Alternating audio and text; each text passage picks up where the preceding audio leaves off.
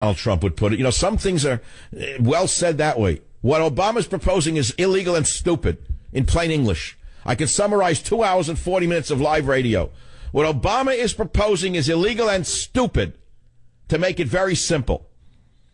But if you want to dance on the head of a pin with me, go ahead, my friends. Let's dance.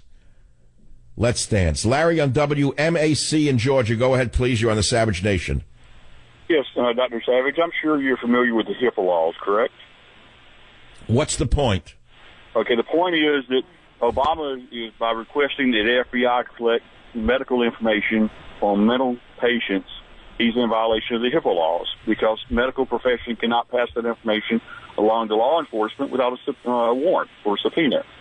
And That's he's ordering correct, them to violate the law. That's correct. But when has that ever stopped him? It hasn't stopped him in the past, but it's the point that the public's got to become familiar with the fact that he's uh, willing to bypass the law to get uh, what he wants. Yes, this is nothing new. He is going to use the FBI and the, and the therapeutic professions to violate patient confidentiality, but Obamacare has already violated patient confidentiality, as you well know. There's a massive data breach on patient confidentiality as a result of Obamacare. I think we all know that. You ask any doctor about that, uh, and you will see that that is true.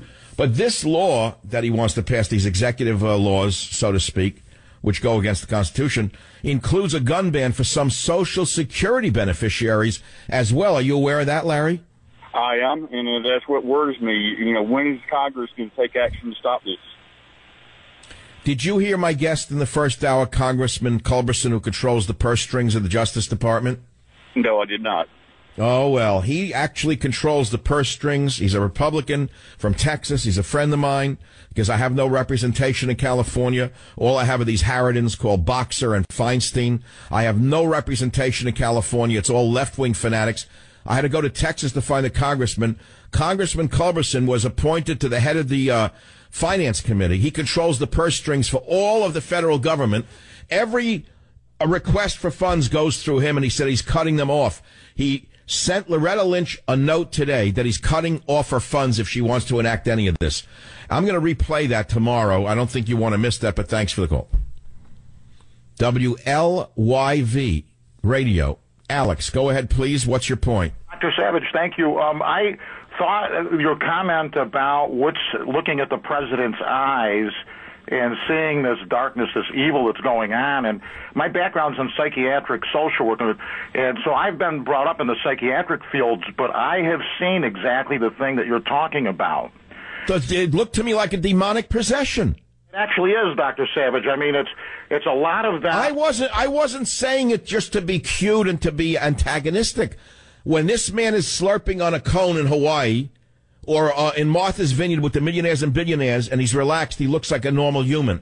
Whenever he comes out like a vampire and attacks the middle class, as he did today, especially the white middle class heterosexual Christian, as he did today, he looks demonic.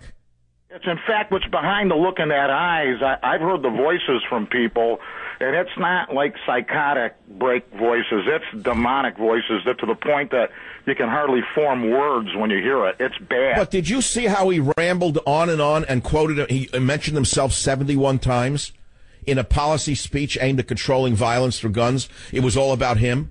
But did you see how he rambled on and on and on? Did you see him? Uh, did you see his? Just did you actually watch the speech? I didn't. I, I I have a restaurant and I'm constantly making stuff and it's no, no. I I watched it and I had to turn it off because it was it was like watching The Shining. It was like watching a movie about demonic possession. The man changes form as he gives these speeches. He relishes it so much he can almost not control himself, and his eyes become, as we are saying, demonic. They're the eyes of a possessed individual. So I, I mean, I made my point over and over again. I don't have to repeat it over and over again. What kind of food do you serve in the restaurant? That, now you got my attention. Raviolis, got the best veal, homemade gelato ice creams. It's called. Wait, wait, are you tell, so it's an Italian. You're an Italian restaurant owner. Is is it a, is it an Italian restaurant? Yeah, it's all old fashioned. It's you know 15 table, but I make. Where my, where are, where are you? What state? You're in what state? It's in Fort Wayne, Indiana. I think when I retire, I'll come down there for a, for a, a dinner. I'm, I'm, I'm, when I say Italian food, I'm a red sauce guy. I'm not into fancy meals. I could do without fancy. I grew up in New York where spaghetti was about, you know, $2 a plate with, with meatballs and this marinara sauce that you could put your arm in. It was so thick. Frank Sinatra, Tony Bennett. We got a little stage. Hey, I you, love wait, you. You say what? You entertain Frank Sinatra and Tony Bennett? Voices out there that are trying to wake the public up. Well, Alex, hold it. You, you lost me here. Did you say that Sinatra and Bennett ate there? And, and they're all beginning. Uh, hold it. Wait, so, whoa, whoa, whoa. Look, I'm not going to hang up. Alex, you got to hear me. I'm interested. Did you say that Al? Did you say that those guys ate in your restaurant? Which guys? The Sinatra and Bennett. Sinatra's pilot flew him around, uh, and I met Tony Bennett when he was here, but they didn't come to the restaurant. Sinatra's pilot was going to bring him here. His name was Tony Takis, but he went to Chicago, and they don't like to come to Fort Wayne. But he did sign a picture before he died, and yeah, but Fort, it's funny, you know, you're saying you're in Fort Wayne, Indiana, right? Fort Wayne, Indiana. Do you remember the movie Goodfellas? Uh, remember the movie Goodfellas? When it takes one of the scenes takes place in a in a little uh, grocery in a place like that, isn't that right?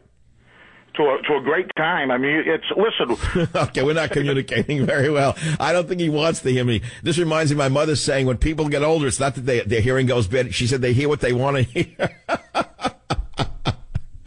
I'm thinking, I'm thinking of Scorsese's mother playing the mother in that deli scene in the back where they really control the entire industry of crime in America. These little guys with the aprons on.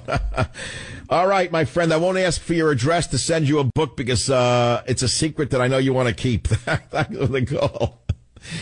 Ooh, I got such a wonderful audience, and the man was in psychiatric. Uh, he's probably around a lot of people who are like that. He knows what demonic possession looks like when you got the person on the rack with the vice around their head. He sees the eyes that change. You know, if you watch too many movies. W, I got such wonderful callers. I got to tell you, I haven't taken one from my home city of San Francisco. So let's go to KSFO. I love KSFO. All you infidels in San Francisco and Oakland and San Jose and Marin County, all of you poor people without any political representation. I'm so glad to be here for you every day. We don't have a congresswoman. We don't have a congressman. We have zero representation in the most demonically one party fascistic state in the United States of America. It's ruled with an iron high heel. So let's go to KSFO. Tom from KSFO, what's on your mind, Tom? Yeah, Obama wants to drive gun retailers out of business with this, Michael. Well, how would this drive gun retailers out of business? Because in San Francisco, they drove them out last last year. The last one was driven out, wasn't he, by the nuts here? Yeah.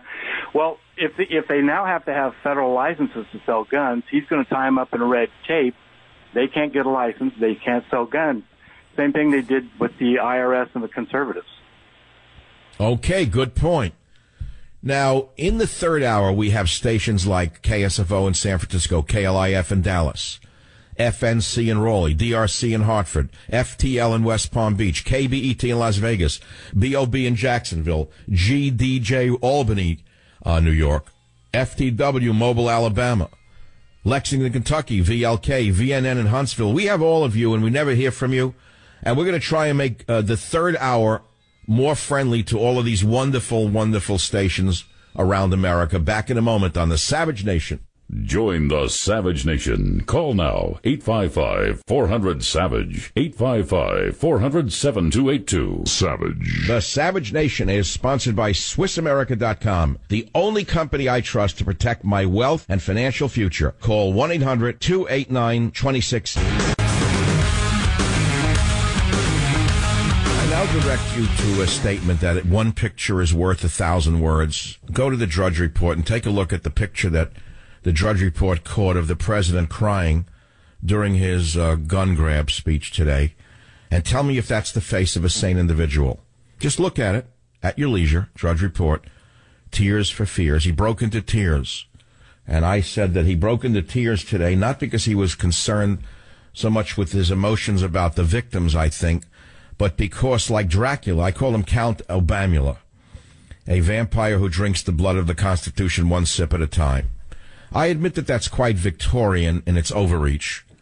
But then again, I'm a Victorian kind of guy in some ways. But I don't think he was weeping uh, out of sadness. I think he was weeping for joy. that finally he could sink his fangs into the heart of the white heterosexual middle class Christian community itself. Because again, I will make this the issue that I think it has to be. Who do you think this set of laws is aimed at? Everything in this country is broken down by racial metrics. This is how politics runs in America. They know the breakdown. Everything that they say or do, before they say or do it, they know, like through focus groups, analysis, which group is going to respond positively, which group or groups will respond the other way. And so they know that the number one group that will respond negatively to this is the number one group they're aiming it at, which is the white male that I mentioned. Notice there was no outcry from any other community. Why was there no outcry from any other community? I didn't see the gangs of Baltimore that burnt the city half to the ground come out and say, oh no, we're not going to go for this because they have illegal guns.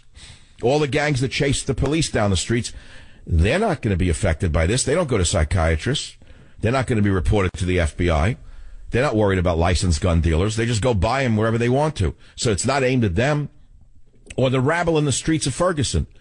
I didn't hear them rioting today. Did you hear Black Lives Matter screaming today about this law? How come? How come? I'll leave you with that thought. Why did Black Lives Matter not scream and yell and threaten everybody? with Obama's laws today, or his attempt to go around the law, really. Why? Why is the outcry only amongst white males? I'll let you figure that out. And once you figure it out, you'll come to understand what we are going through and that this is just the beginning of a long, rough year, a really rough year. So get your life vests on,